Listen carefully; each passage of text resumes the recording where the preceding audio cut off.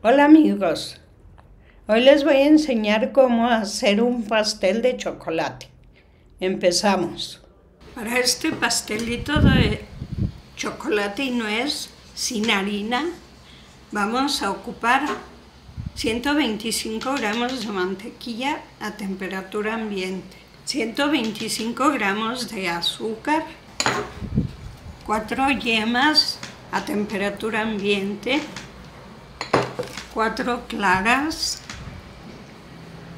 25 gramos de azúcar glass, 100 gramos de chocolate amargo que vamos a trocear ahorita con un cuchillo, 100 gramos de nuez que vamos a picar así en trocitos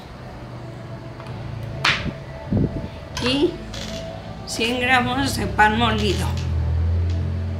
Esos son nuestros ingredientes.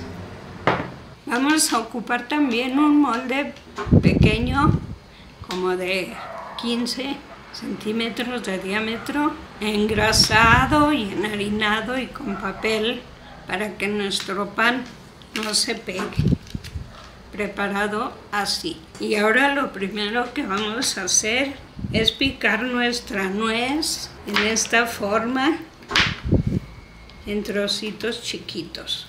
Y también el chocolate en la misma forma que estamos partiendo la nuez. Vamos a empezar por batir la mantequilla, si se quiere con batidora o si no con espátula, como cada quien tenga. Le agregamos el azúcar para que vaya batiéndose junto con la mantequilla, junto con el azúcar glass. Dejamos que esponje un poco y el azúcar se desbarate y agregamos las yemas a una velocidad media.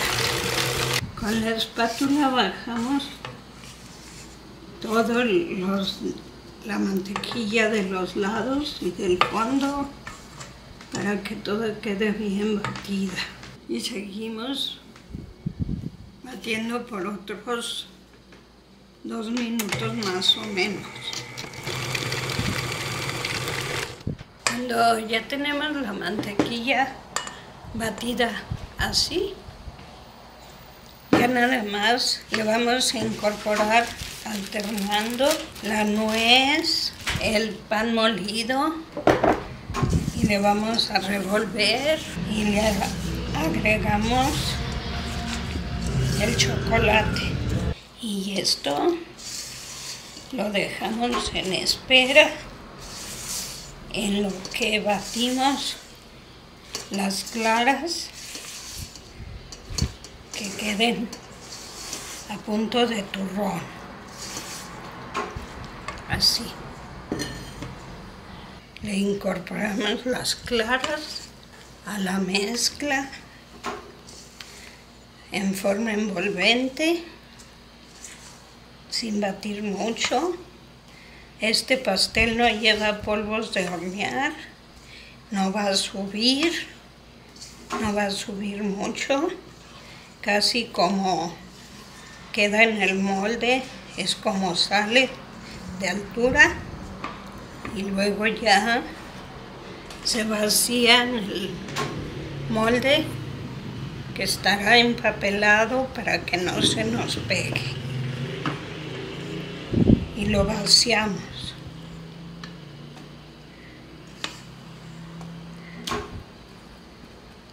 Va a salir casi que con la misma altura con que lo vamos a vaciar porque no lleva polvos de hornear.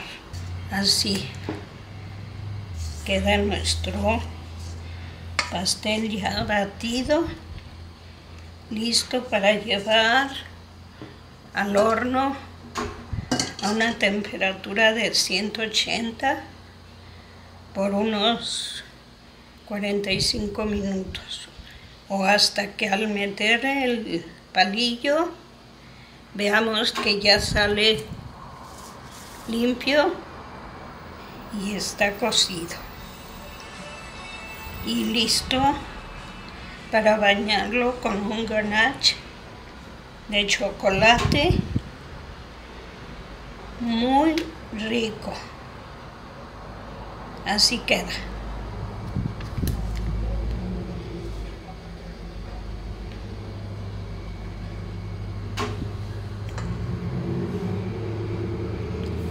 Al horno lo llevamos.